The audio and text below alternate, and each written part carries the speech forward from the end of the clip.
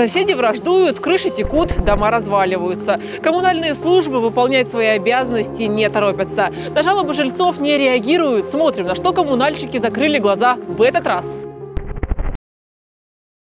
Земля раздора. Жительница Барнаула уже несколько лет воюет с соседом за участок земли. Я вот что расстраиваюсь, видите, как они близко построили. А тут еще труба была. Я сгорю и все. Время платить по счетам. Барнаульцы требуют компенсацию за порчу имущества во время урагана. Юристы дают совет, как добиться справедливости. У нас э, вывесок, э, например, тех же самых, да, или фасадов э, тысячи, а оторвались единицы. Ну, это, наверное, о чем-то говорит, наверное, о том, что они были ненадлежащим образом закреплены. В промышленной зоне Барнаула кипят нешуточные страсти. Соседи не могут поделить земельный участок. За несколько соток борются уже несколько лет. И никто не готов уступать. Можно ли найти компромисс в этой истории и помирить соседей, мы попробовали выяснить. Понимаете, как у нас было пять суток? Мы всеми хозяевами разделили эти пять суток. Разделили. Две с половиной им сутки, две с половиной мои сутки.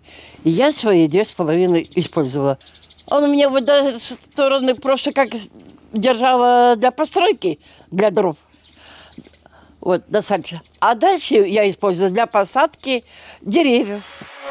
Земельный участок возле дома несколько десятилетий был в свободном доступе. Нина Соколова использовала его по максимуму. Построила сарайку для хранения дров. На оставшемся участке садила зелень, клубнику, малину. Но малина кончилась три года назад. Землю забрал сосед, возмущается пожилая женщина. Кустарники и сарайка пошли под снос. Зато появилась новая жилая постройка. Причем в непосредственной близости от дома женщины. Я вот что расстраиваюсь, видите, как они близко построили. А тут еще труба была. Я сгорю и все. У нас каждый год там три квартиры сгорело, там три дома сгорело, там пять домов. Я просто-напросто сгорю. Нина Соколова проживает в промышленной зоне Барнаула в частном доме. Вот только жилплощадь не узаконена. Самовольные постройки в промзоне долгое время официально оформлять было нельзя, рассказывает пожилая женщина. А сейчас второй год вот по, по путинскому приказу на, просьбе разрешили узаканивать. Ага. И вот мы пытаемся. Но пока безуспешно. А вот что касается соседа Сергея Васильева, на которого жалуется женщина, узаконить свои постройки мужчина смог. И сосед искренне не понимает, чем недовольна его соседка. Ведь она сама вплотную пристроилась к чужому дому. Она построила тоже вплотную к забору, за- забор убрала и построила вот эту сарайку. Вот она, видите? Туда уже не пройдешь, потому что она там забор сломала. И она жалуется, что боится пожара. Так она к нашему, получается, пристроила здесь. Две стороны конфликта, две правды. Мирно решить вопрос соседи не могут. За клочок земли борются в суде. А пока идет тяжба, Нина Соколова пытается узаконить свои постройки. Тоже в судебном порядке. Но буква закона пока не на стороне женщины. Почему? Большой вопрос. Ведь сосед же получил документы на постройки в промышленной зоне города.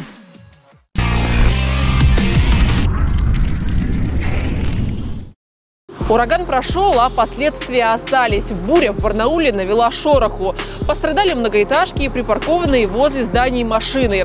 Со стихией компенсации не получить. А вот с ответственных лиц вполне возможно, как бы те не открещивались. Коммунальные эксперты расскажут, как добиться выплат.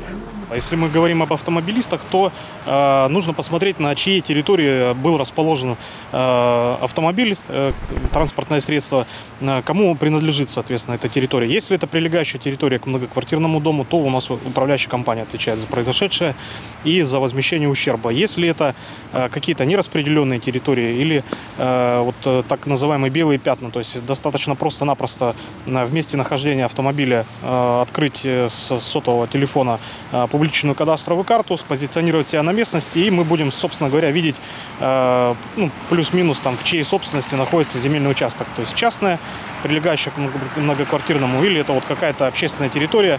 Э, и, соответственно, за э, такого рода э, территории э, земельные участки несет ответственность администрация города Барнаула в Барнауле, ну или органы местного самоуправления, соответственно, вот той территории, где э, произошло, то есть Бийск, там Рубцовск и далее по тексту. Если мы говорим о, э, допустим, имуществе, которое пострадало, то есть у нас очень много там вывесок, сорвало и прочее, здесь тоже мы идем от принадлежности. Э, Если это на нежилом здании расположено, то собственник или собственники э, такого нежилого здания. Э, Также у нас есть случаи вот обращения, когда э, части фасада отрывало, и вот, в общем, такой хлопок своего рода образовался по э, застекленным э, оранжереям, э, балконам, э, и, соответственно, там э, значит, э, были разрушены стекла, остекление балконное.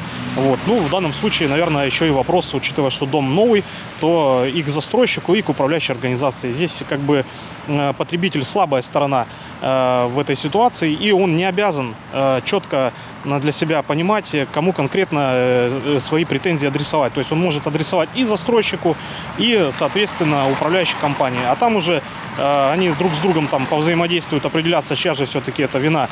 Плохо закрепил застройщик и сдал так дом, или управляющая компания не досмотрела и как бы ненадлежащим образом содержала дом, и в результате произошел отрыв частичный, да, и повреждения. Вот. Если ни те, ни другие не выплатят и не придут к консенсусу, кто же выплачивает, бывает ситуация, когда и пополам делят, там, или в 30 на 70, или еще как-то застройщик с управляющей компанией. Если ни того, ни другого не произошло, э, ну, то есть э, в этой ситуации потребителю ничего не остается, кроме как обратиться в суд, а уж суд-то там точно разберется, чья же все-таки это зона ответственности. Но э, ситуация для э, управляющей компании, для застройщика, она несколько будет носить такой более тяжелый характер, потому что здесь уже выплаты будут в разы больше, чем э, человеку можно выплатить добровольно, э, вот на основании той оценки, которую проведут независимые, например, да, какие-то организации и посчитают сумму ущерба. Погодные условия, и э, я думаю, что здесь э, причинители вреда, они будут э, достаточно внимательно к этому относиться, стараться упирать, представлять там различные справки из э, э, органов у нас, э, которые мониторят погодные условия и так далее. Но здесь, опять же, вопрос э, оценки суда, с одной стороны. С другой стороны, э, ну, у нас э, вывесок, э, например, тех же самых, да, или фасадов тысячи, а оторвались единицы. Ну, это, наверное, о чем-то говорит, наверное, о том, что они были ненадлежащим образом закреплены. И, ну, не такие уж это и ураганные были явления. И вот, э, ну, как бы из практики судебной на сегодняшний день даже не то, что уйти от ответственности со ссылкой на вот такого рода справки, а даже просто ее в какой-то степени уменьшить, ну, не так много и не так часто это происходит на самом деле. То есть это не цунами, не какое-то там э, наводнение там и так далее, да, какое-то э, действительно, которое носит форс-мажорный характер. Это, ну, такие достаточно жесткие природные явления, но между тем э, они должны ну, быть нивелированы теми организационными мероприятиями и какими-то действиями ответственных лиц и должны были быть предотвращены.